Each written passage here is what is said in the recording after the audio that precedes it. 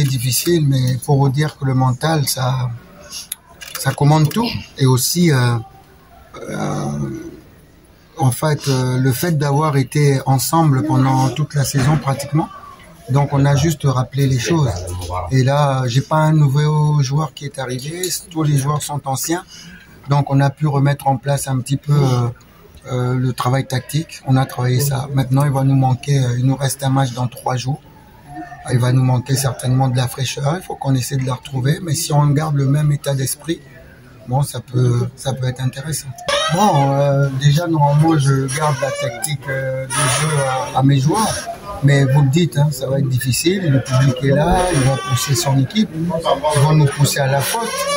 Euh, ils vont nous faire beaucoup travailler pour qu'on puisse euh, craquer un petit peu. Nous, il faut qu'on soit plus intelligent. Aujourd'hui, je pense que on avait l'envie, on avait l'envie, et ça arrive souvent quand vous n'avez pas joué longtemps.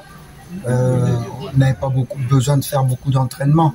Mais c'est vrai que dans la durée, après, là, on se rend compte que c'est très très important euh, les entraînements. Donc euh, aujourd'hui, si on avait été un petit peu plus intelligent, on avait la possibilité de, de tuer ce match parce qu'on a perdu beaucoup beaucoup de possibilités d'aller jusqu'au bout en se précipitant.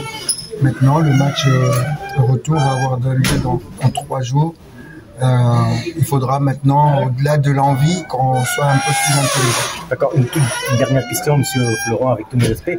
Mais euh, l'espérance maintenant, elle a son entraîneur, c'est clair. Certainement, vous avez entendu ça. Euh, Les rumeurs concernant votre nom qui ont circulé, beaucoup circulé dans les coulisses. C'est l'occasion, vous êtes sur nos terres. c'est l'occasion de mettre les points sur les i par rapport à l'espérance. L'avenir de Florent Ebengue et y a-t-il eu des contacts en provenance des clubs tunisiens?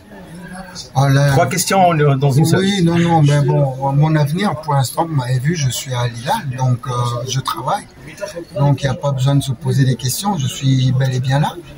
Quant au club tunisien, bah, je peux déjà remercier ceux qui ont pensé à moi, si c'était le cas, parce que je crois qu'on s'est parlé euh, sur WhatsApp il y a, long- il y a pas longtemps. Euh, je crois que chaque mercato, il y a du bruit, mais euh, je crois qu'il faut respecter l'espérance. L'Espérance est un grand club, un très grand club, et l'Espérance ne communique pas par WhatsApp ou par les réseaux sociaux. Donc, euh, si l'Espérance a besoin de moi, ils savent comment faire. Mais tout ça, c'était des rumeurs de réseaux sociaux et c'était pas l'Espérance. Il faut respecter l'Espérance. C'est un très très grand club.